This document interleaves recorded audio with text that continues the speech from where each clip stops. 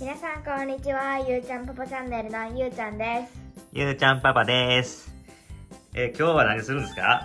えっとリフォルメシールウェハース。鬼滅のえっとなんかね、えー鬼滅の刃ウェハウスの、えーなんか新しいやつがね、まあ、出てるんかな？ちょっと前からね。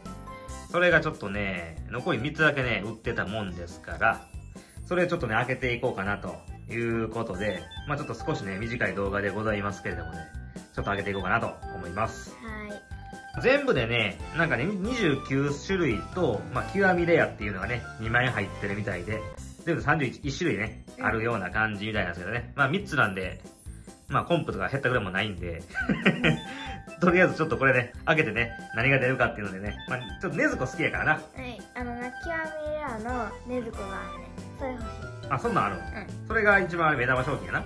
んうんそう炭治郎と一緒それが、まあ、一番ね、当たってほしいんで、3つだけですけれどもね、ちょっと開けていきましょうか。はいはい、全部開けたんで、1つずつ見ていきましょうか。はいはい。まず一つ目からね。さあ、一つ目ね。せーの、ドンうーん、な あ、それ。あえーと、沼の鬼沼の鬼が当たりました。ないや、あんま知らんぞ、これ。知ってる？沼の鬼。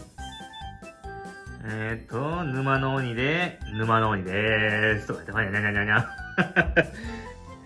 はい、まず、沼の鬼。中途半端なやつ聞きよったな。はい。さあ、続いてね、二つ目。いくで。はい、せーの、ドンおー、ねずこやけども、なんか、あれ、ちょけたやつやね、これ。なんかなんか 結婚しようみたいな なんかちょけた善逸とねずこちゃんが当たってますね。ねずこやからいい、まあ、ねずこやがいいけどな。うただもう、あれやな、基本的に外れのパターンのやつやな、これな。ん、そうやったらこっちの方がそっちも外れやけどな。はい。あかんな、極みではけえへんな。ラスト極みで出たらなやもん。はい、じゃあ、ラスト1枚ね。いくか？